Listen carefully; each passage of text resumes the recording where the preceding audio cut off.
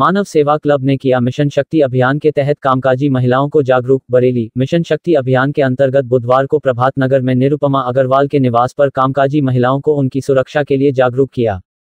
कार्यक्रम के मुख्य अतिथि और क्लब के संरक्षक नगर विधायक डॉक्टर अरुण कुमार ने कामकाजी महिलाओं को सजागरूक करते हुए कहा कि महिलाओं को सतर्कता और निर्भीकता से काम लेना चाहिए, कोई बात होने पर तुरंत पुलिस या हेल्पलाइन की मदद लेनी चाहिए। कार्यक्रम के विशिष्ट अतिथि शिक्षाविद डॉक्टर सुरेश बाबू मिश्रा ने नारी सशक्तिकरण के बारे में विस्तार से बताया, कामकाजी कन्याओं को हार पहनाकर सम्मानित किया गया। क्लब के अध्यक्ष सुरेंद्र बीनू सिन्हा ने बताया कि वह क्लब के माध्यम से जगह जगह नारी सशक्तिकरण का कार्यक्रम करेंगे। कार्यक्रम में महासचिव अभय भटनागर, निर्भय सक्सेना, चित्रा जौहरी, मीरा मोहन, निरुपमा अग्रवाल, राशि पाराशरी, रोहित राकेश सहित कई लोग उपस्थित रहे। आदरणीय योगी आदित्यनाथ जी ने शुरू किया है ये महिलाओं की सुरक्षा के लिए, उनके सम्मान के लिए, उनके आत्मसम्मान के लिए और साथ में स्वावलंबन के लिए। हमारी सरकार चाहती है कि महिलाओं को समान अधिकार मिले। महिला और पुरुष में किसी तरह का फ़र्क ना रहे। हालाँकि प्रैक्टिकली आज भी महिलाओं में वो सम्मान नहीं है, जो पुरुष का है। कहीं पे अगर कोई काम कर रहा है तो पुरुष की तनख्वाह थोड़ी ज़्यादा होती है, महिला की थोड़ी कम होती है। महिला के साथ में सड़क पे हो, कहीं काम कर रही हो, वहाँ पे बहुत ही भेदभाव रखा जाता है। इस सब के खिलाफ हमारे मुख्यमंत्री आदरणीय योगी आदित्यनाथ जी ने वह शक्ति स्वरूपा है, क्योंकि ये शक्ति का पर्व होता है। जो नव दुर्गा का पर्व होता है, शक्ति का पर्व होता है, और उसके प्रथम दिन मिशन शक्ति की घोषणा करके उन्होंने ये संकेत देने का प्रयास किया है कि हमारे देश की महिलाएँ, हमारे देश की बेटियाँ, हमारे देश की नारियाँ, ये शक्ति स्वरूपा हैं और इन्हें अपने अंदर की शक्ति को जागृत करना बहुत सारे कारण हो सकते हैं दुष्कर्म की घटनाओं के, छेड़छाड़ की घटनाओं के। मगर एक जो सबसे बड़ा कारण है, वह ये भी है कि बेटियों के अंदर, महिलाओं के अंदर एक भय की भावना है।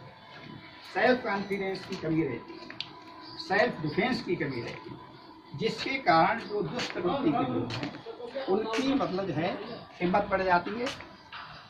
इन सारी घटनाओं की शुरुआत छेड़छाड़ से होती है। अगर तुरंत ही उसका विरोध कर दिया जाए तो आगे चलकर इस प्रकार की घटनाएँ, उनका मनोबल टूट जाएगा। आज मानव सेवा क्लब द्वारा मिशन शक्ति कार्यक्रम में हमारे मध्य, हमारी बहनें यहाँ पर उपस्थित हैं। शक्ति स्वरूपा। शारदे नवरात्र चल रहे हैं। और क्या नाम है बेटा आपका? मेरा नाम रितिका सिंह है। रितिका सिंह। क्या करती हैं आप? मैं B M S second year की छात्रा हूँ। बी एम एस की छात्रा है क्या बात है। तो आपके जीवन का उद्देश्य क्या है? फ़िलहाल मेरे जीवन का एक ही उद्देश्य है कि मैं इतना अच्छा पढूं, इतना अच्छा कुछ करूँ कि मेरे मम्मी पापा ये जाने कि हाँ मेरे नाम से कि इनके मम्मी पापा हैं। बहुत सुंदर। अपने माँ बाप का नाम रोशन करना है आपका उद्देश्य। आपके लिए तालियाँ बजा सकते हो। आपका नाम क्या है? मेरा नाम प्रिया सिंह है। प्रिया सिंह है। कहाँ की रहने वाली हैं आप? विशाखगंज के पास बलई भगवंतपुर विलेज विशारदगंज की रहने वाली हैं आप। तो आप क्या कर रही हैं? मेरा अभी एलएलबी लास्ट ईयर है। एलएलबी कर रही हैं? क्या बात है। आप क्या बनना चाहती हैं? मैं एडवोकेट बनना चाहती एडवोकेट बनना चाहती हैं। तो एडवोकेट बन के क्या करेंगी आप? हूँ मैं सबकी प्रॉब्लम सॉल्व करना चाहती हूँ। सबकी समस्याएँ सॉल्व करेंगी। आप सबकी समस्याएँ सॉल्व करेंगी। बहुत अच्छी बात है। आपके जीवन का उद्देश्य क्या है?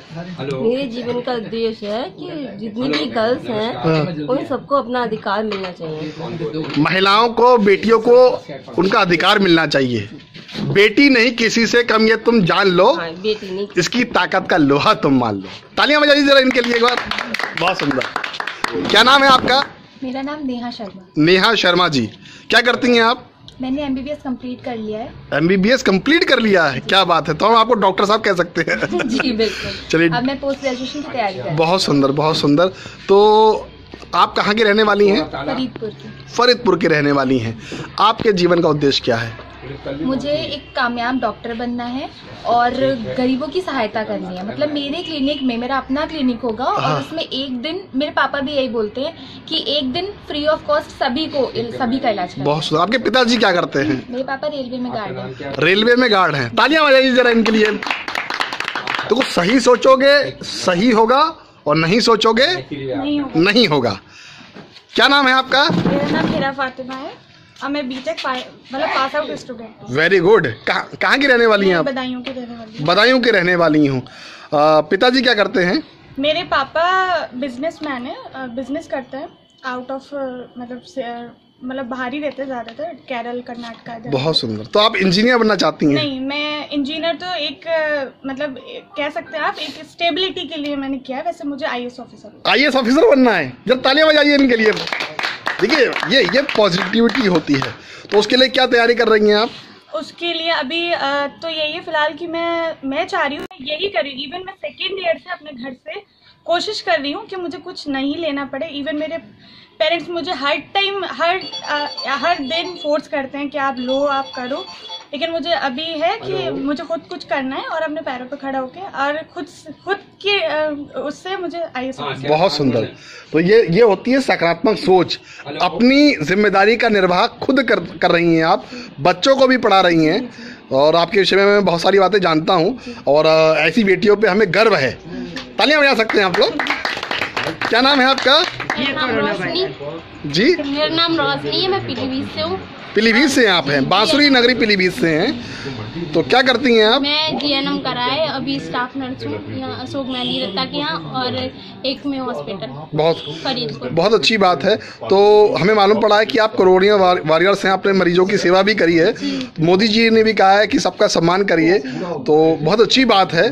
और बेटियाँ किसी से कम नहीं हैं। तो आपका जीवन का उद्देश्य क्या है? मेरा बस यही उद्देश्य है कि मैं अब बस आगे मतलब पोस्ट ग्रेजुएट करूँगी और बस हॉस्पिटल में जॉब करूँगी लोगों को अच्छी मतलब अच्छा ट्रीटमेंट प्रोवाइड करा सकूँ ताकि उन्हें अच्छा महसूस हो। बस मेरा पेशेंट ठीक होके जाए। पेशेंट ठीक होकर बहुत अच्छी बात है। ये अच्छी सोच है।